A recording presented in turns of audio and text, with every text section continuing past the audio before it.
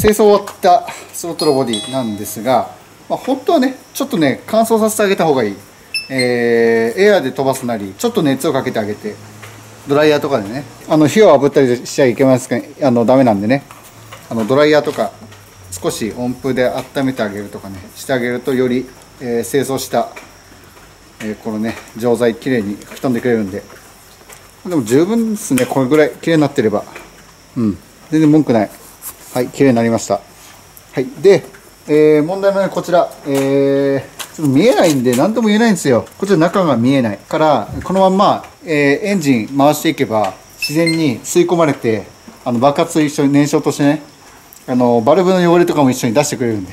これはこのままでいいです。ただ、えー、もうちょっとねうんでもだいぶ中、うん、綺麗になってると思うけどもそれでも若干足りないなと思う場合は余分にまたこれ洗浄剤を、はい、流してあげてください。よし。組み付け参ります。まあ組み付けは、えー、取り外してきた、ね、逆の順で折っていけばいいんでね。はいまずはスロットルからいきましょうかね。スロットル。はい。スロットル太鼓。はい。こうね取り付けて。こんな感じで。よいしょ。はい。でここをね締め付けていく。はいこんな感じで。はい締め付けていきます。はいはい締め付けました。はい逆。逆もしっかり。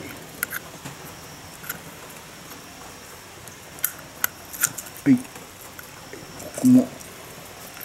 スライドさせて。よいしょ。ちょっとチェーナーっぽいですけどね。はい。ちょっとここ締め付けてください。はい。遠ミリですね遠ミリはい。ここも同様に、はい、あんまりねここがっちり締めない方がいいですね。ここはキュッてですキュッて緩まないかなっていうぐらいの感じでいいです。思いっきり締めちゃうとどうしてもねこうねじ切っちゃったりすると交換大変になっちゃうんで。はい。そしたらばこのブーツをかぶせてはい。開けてください。はい。でまだついてるもの他にもありましたね。これねブローバイのね還元装置。ブローバイガスの、えー、循環装置ですかね。はい。これをこうねネジでね締め付けてあげましょう。よしよしよし。最初ねばあの慣れてなければ最初のばらす前に写真を撮っておくのもいいですよね。どんな感じでついてたんだっけなっていうのがね分かるんで、こんな感じで。で増し締め。グッと。はい。ここね余計ここもね余計に締め付けなくて大丈夫だと思う。取り外す時硬かったけども締め付ける時は普通にマンパワーで十分だと思います。理由があってやっぱりね長年使ってると錆びたりしてね動きが悪くなってくるんですよ。固着してくる。っていうのがあるからそれを加味した場合こう無理やりやってしまうと結局ネジ切っちゃったりするんでね。それこそ大変。後々大変。はい。であとありましたねこれね。えー、スロットのポジションセンサー。これも大体平行でしたね。入れる時ね、まあ、どっかどっかにしか入らないんでね。うまいことこの中身の棒とちょっとわかるかな。でこの棒のね位置関係をちょっと見極めてこの辺だったかっけなっていうのをちょっとグイングインやりながら場所を決めてグッて入れてあげてください。めったにいじらないところは基本トルクスです、はい。でここもねがっちり締め付けなくていいです。もう軽く止まったら9ぐらい。止まったら9でいいですはい無理やりやったらほんと折れるんでね。折ったらもうそっちの方が大変。はい。で、えー、これね前回の動画でやりました。ISCV もしかしたらワンチャンこいつが死んでる可能性も臭いんだけどね。こいつねこいつ自体。がねやられていたらね元も子もないんですがこれを戻していきます。はい。うんいい感じ。はい、これもネジを締めていきます。はい。いしょ。はい。はい。であとはこのまんまスロットルボディを固定していきます。よいしょ。はい。グイグイ。グイグイと。ね押し込んであげましょう。これ案外ね上側はまってても下側がねはまってないってことがね結構ある。あれ上はまってるように見えたけど下はまってないじゃんっていうことがあるんでなるべくこう下側から押し込むようにしてあげてください。はい。こんな感じです。でここは六角でしたね。六角で締めていきます。はい。ちょっとねここ角度つけてあげてくださいねこれね。これねカプラがね刺さんないと思うんですよ。ここまっすぐにしちゃうと。だからわざとこういう風に斜めになってるんですね。よし。いいかな。はい。でカプラ差し込んでいきます。はい。はいはい。カプラカプラよししょ。ではもう一回エンジンをかけてみます。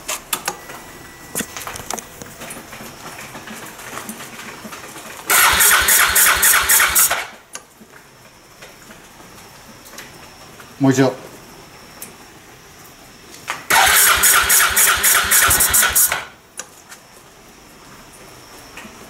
まあ清掃したばっかりなので一発は多分かかりにくいですね。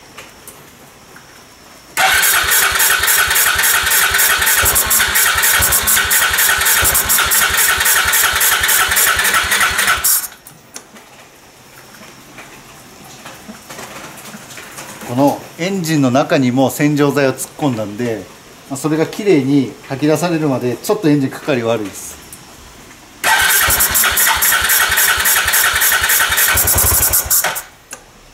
ちょっとずつかかるようになってきた。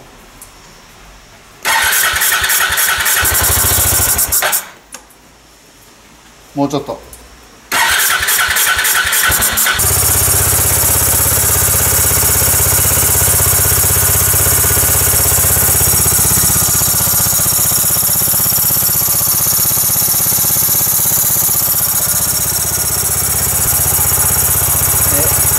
今のうちにアクセルワイヤーを調整します。長さをね。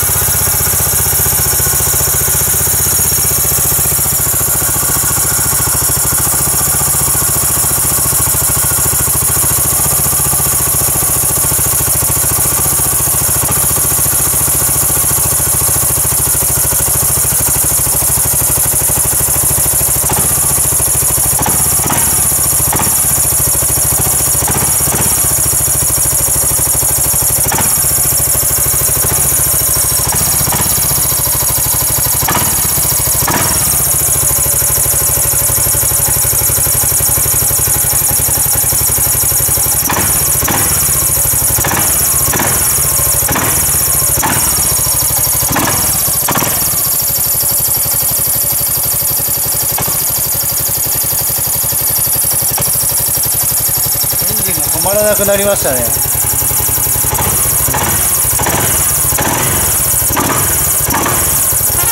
アイドリングが安定しております。ただ今これつけた時にあのフューエルインジェクションの警告灯がついておりましたので一回これでエンジン止めてもう一回エンジンかけ直したいと思います。でアイドリングへ少し放置しておきます。そうすると、えー外したセンサー類がね再学習してくれるんで。はいもう一回いきます。これねこれ。今これ警告灯が出ております。